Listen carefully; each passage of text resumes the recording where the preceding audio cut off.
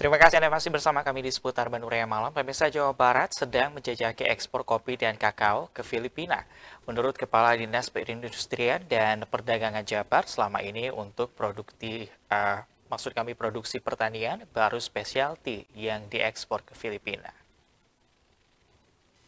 Terungkap dalam kegiatan Familiarization Trip Specialty Coffee and Bayer Filipina di Aula Barat Gedung Sate, Kota Bandung, Selasa 9 Juli 2024, kini kedai kopi menjadi tempat berkumpulnya banyak orang terutama kaum muda di Manila, Filipina.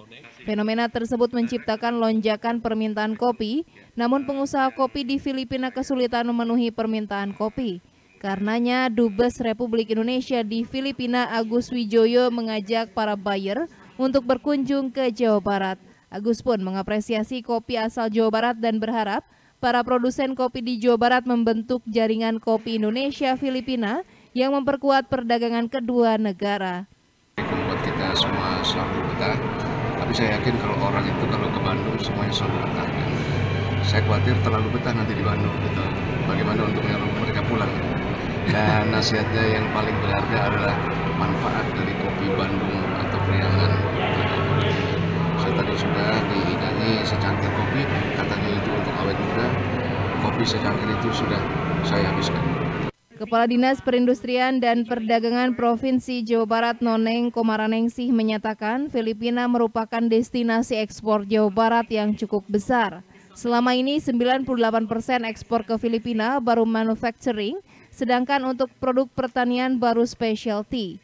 Karenanya Noneng berharap produk kopi dan kakao asal Jawa Barat pun bisa diekspor ke Filipina. Juga meningkat juga karena selama ini memang Filipina menjadi destinasi dari ekspor kita yang cukup besar. Dan mudah-mudahan dari hasil pertanian ini juga meningkat karena selama ini 98% ini kan dari manufacturing. Nah, jadi pertanian ini kita harapkan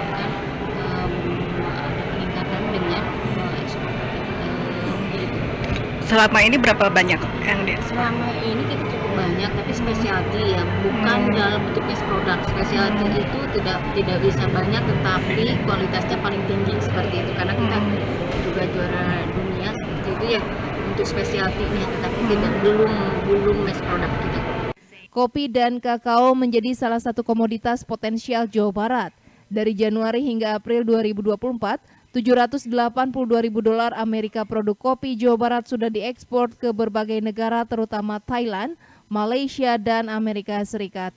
Sedangkan produk kakao Jawa Barat sudah diekspor terutama ke India, Australia, dan Rusia. Budi Hartati, Bandung TV